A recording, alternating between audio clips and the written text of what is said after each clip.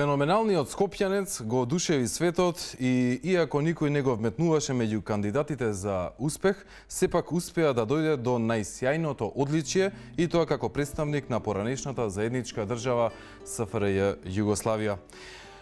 Шабан Трстена се искачи на највисокото место на победничкиот пиедестал во дисциплината слободен стил во категоријата до 52 килограми на летните Олимписки игри кои се одржаа во 1984 година во Лос Анджелес.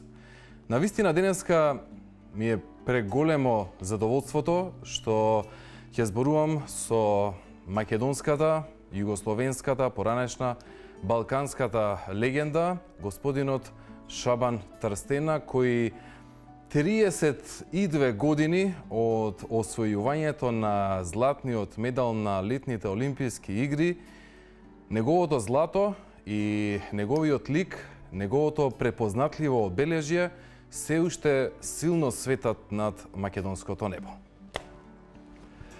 Добар ден. Добар ден, господин. Господин Шабан Трстена. Како се ти? Добро, Добро да. одлично. Да. Јас водев, да. сега е наред вие да борите.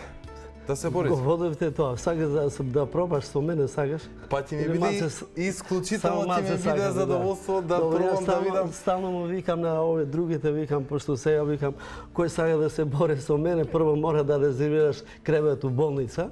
Ако си одлучил зашто да не може да ти Предпоставувам дека ќе се снајдеме за тие работи. Јаки се, а? Види, види, види, види гоце.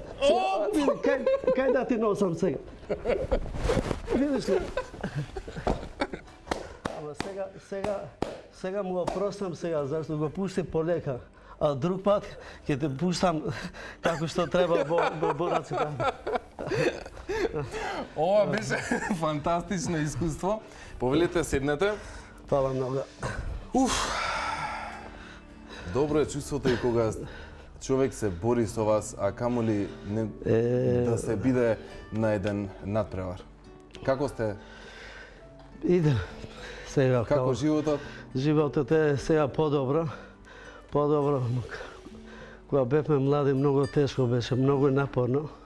Сега кога веќе прекинавме со борењето со спортот, малце полесно е сега.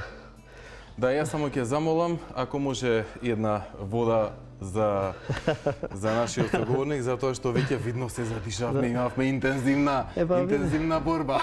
Па види, тоа е стварно, се стално прашува зашто борењето. Ја Гоце, по моје мислење не е случајно зашто борењето. Mm -hmm. Сега Слободно може да, сега во ова краишна, кај живеме ние во Балканска острови, не е случајно зашто. Со, со хиляди, хиляди години поранешните е, народи мораше да биде појаки, посилни, да се брана, да, да се борат, моќ, да се има надпреварувачки да, дух, да се влегува во па дуел. и за животот, и за животот. Воопшто, да. во секој сегмент, се е борба кога ќе видиш. Тука е све родени, и Александар Велики, и Џорџ Кастриот, и турците 500 години тука, и мора да дојдеме да се браниме, да се браниме за животот и за, за екзистенција. И не е случајно борењето, зашто го фатиме, види сега, најуспешен во ова малата држава е баш борбени спортови. Борење, бокс, карате, джудо. науспешно. Не е случајно зашто Кина, Кина има милиарди и пол, или Индија, колку е голема земја, нема тие што имаме ние. Јако што сме мала држава, ама имаме, имаме 6 медали или, или 12 медали ова од ова мала држава, на олимписки медали, да не зборуваме европско и светско. Значи, дека не е случајно што зашто сме вака борбени спортови. Тоа е борењето му докажавме интересен спорт како и да е. Му докажавме ние. Дока, му докажавте на на светот и на оваа држава и на предходната, на минатата дека со многу труд, да, со макотрпна да. работа, да. со извонредна желба, со голема желба да се вивнете во врвот на светските спортови, како што се летните Олимпијски игри, докажавте дека со работа може се. секој, секој кој сака да постигне некој, не само во спортот, било што да е, било што е професија, мора еве вие научите, овој режисерот научи за ова што дојде ова работа. Значи со голем труд, секој резултат, секој успех иде преко преко работа, преко учење, преко голем, голем што рековте, да, со голем тренизи, со голем труд. Свано јас докажав тоа само ово сакам да му кажам на овие ако не слушаат овие тука младите никогаш може да се излажеме ние дека со талент може да дојде резултати. Сите сме ние таленти. За се. Сите сме. Само со талентот треба да го користи со голема со голема труд. За да дојде на површина. А, на, наравно, дека како?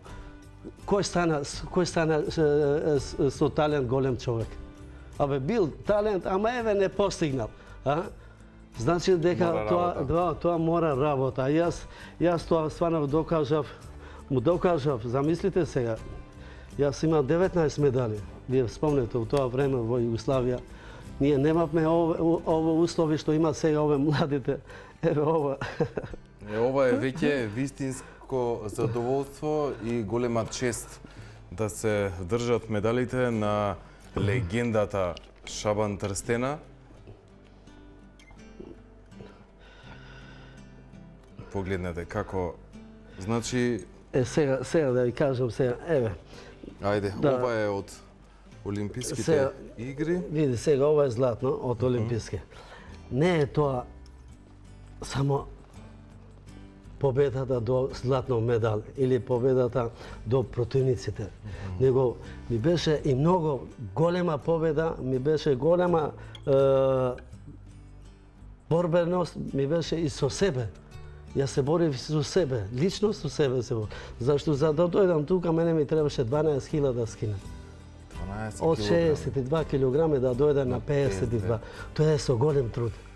Значи, замислите, не само противниците. Значи, и ова што ти кажувам, дека и ова е многу голем, голем треба да го да го сакаш Да го секој сакаш, спорт. да го Ако сакаш. го сакаш со спортот со волја, со срце, мора мора да дојде до резултатите. Гледам еден видео материјал, можеме заеднички да да го прокоментираме. Дали можете да се сетите ова од Види се, ова, ова, ова беше отидав јас да му помогнам на БК е, е, Радович, беше за титула за европско или светско првенство за екипно.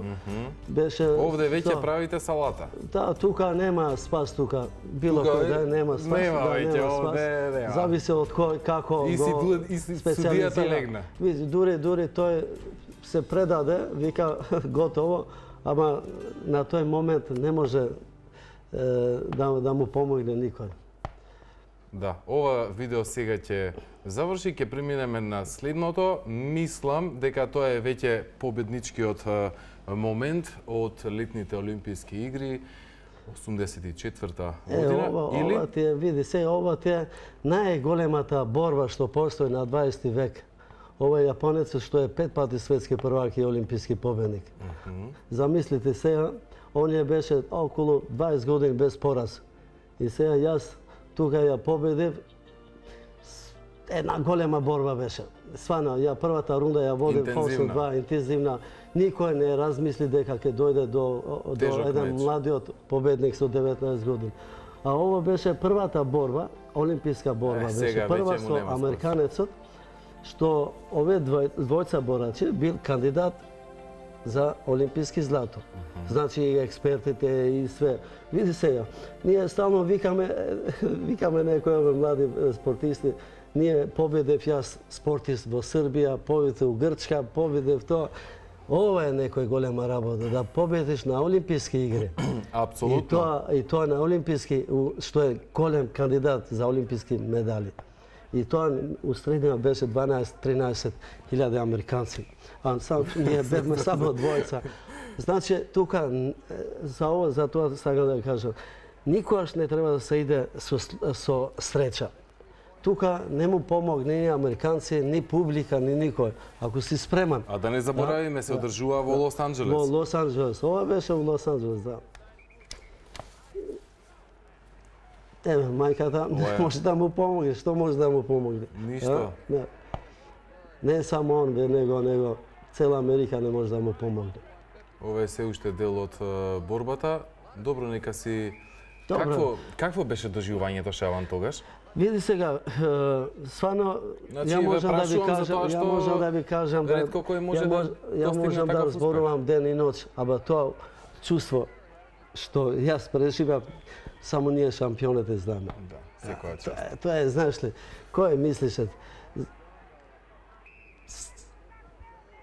Сите, сите сонуваат на Олимписки игри, само да учествуваат. Да бидат дел од тие. Дел на да тие го Олимписки, почувствуваат да моментот, атмосферата. Како атмосферата, како тоа. И сега, замисли колку тешко ми беше мене кога кина 12 кила. Зашто ние боренето стално идеме Еве после. прогласувањето. Да, прогласуваме првиот по Абе, тука имаше, ја имав уште седем борби. Не само, ова е прва беше. Да, е, уште имав уште седем борби.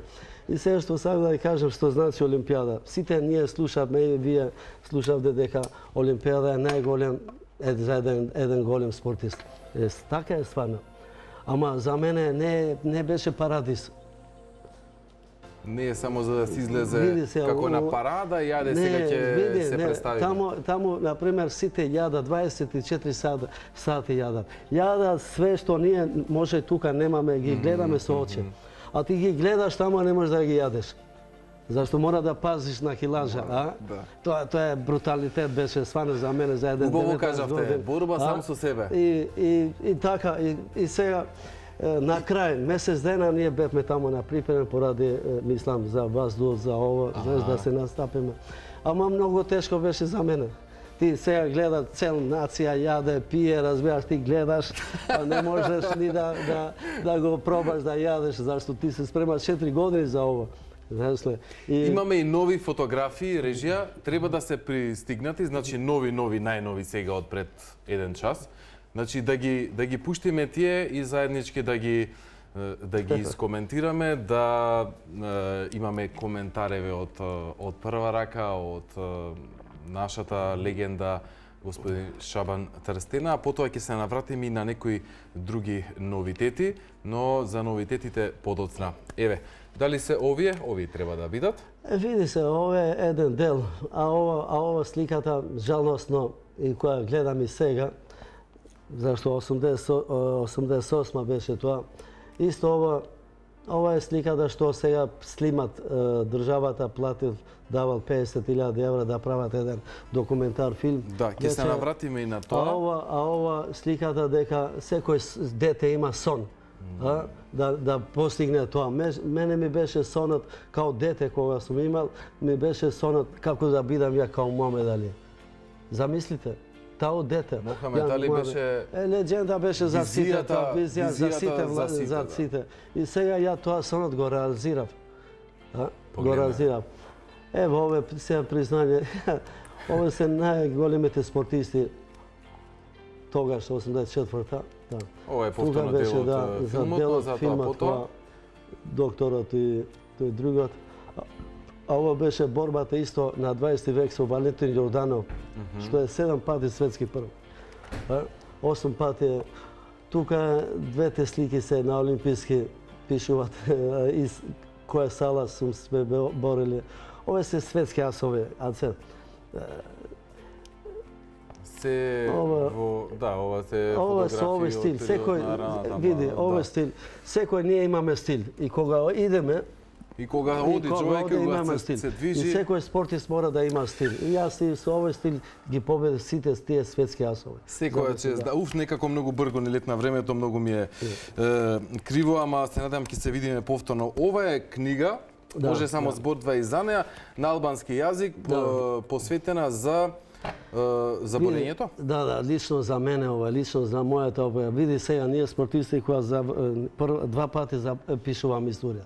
Прво пишуваме историјата меѓу по мегданите кај се бореме во пет континенти. Сега треба ово, наместо да напише ова државата, разбираш ли, или федерација да направи една книга ова, требаше ја лично сам да го напишам ова книгаце, без помош од никој само мојата фамилија и тоа е една тотално од почеток, од до крај е автобиографија, секој е, милиметар, секој е, шифра што е таму Се е што е, све да. тука.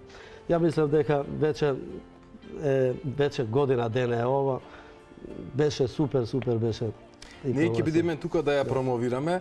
Веќе се направени сите кадри за филмот кој што е финансиран да, ние- од државата Да. за во ваше име и верувам дека наскоро ќе се одржи негова промоција. Ќе ни биде исклучителна чест да дојдете повторно да ни гостувате, заеднички да прикажеме да го прикажеме филмот и да ги покажеме сите најинтересни сегменти, сето она што е едно одбележје за великанот Шабан Трстена. Фала, мислам дека ќе биде супер, зашто тоа е тоа е една една делот на историјата, зашто и за младите треба да да го сватат дека не е, не е само до условите. Може човек ако го сакаш да постигнеш, може без услови. Ја не сум имам услови. Не сум имал спортска сала. Сега овој младите има секој село, секој секој град има супер услови. Сега и, и држава помогна. Ако освоите сега некој медал и добиете одма пензија, тоа не, Да. не е голем. Затоа Може заеднички да си одјавиме? Ајде да Ајде. станеме. Ај, вака, Гоце и Шабан ве поздравуваат Реванш за да се сакате, поздравиме заеднички. да. Реванш, да, Реванш, следниот да, пат, реванш. Денеска на почеток не победивте, Само спремај малце. ќе се вежбам сега следните е денови. Супер, останете на Телма, Да. продолжува Марија. Да, да, фала многу.